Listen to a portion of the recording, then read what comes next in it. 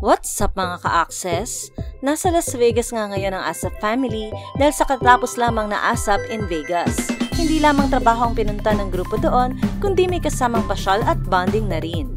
Sa videong ibinahagi ni Kim Chu, makikitang nasa bus ang ASAP family. At habang nasa biyahe, pinagtripan ni na Darren Espanto, Casey Tandingan at Inigo Pascual si Kim.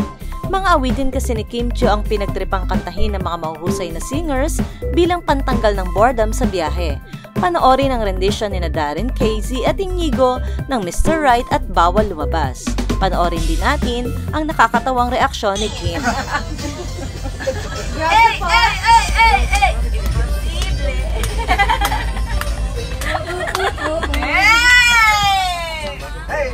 DJ Darren in the house! Hindi na ako masyadong natutuwa. Tigil na natin to. Napaka-OA po talaga ni Darren mga. May palaptop pa po siya.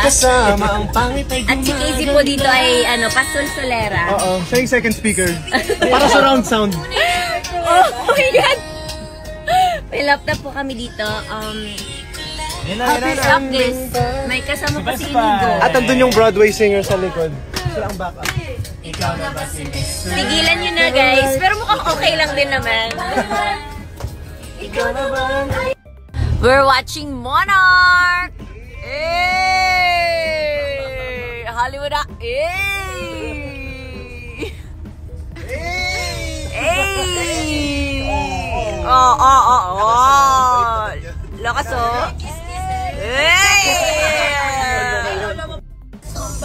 Bawal kayo lumabas dito ah!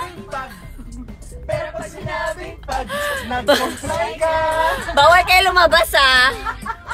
Walang lalabas talaga. Pag binuo nyo yan, walang makakalabas sa bus na to.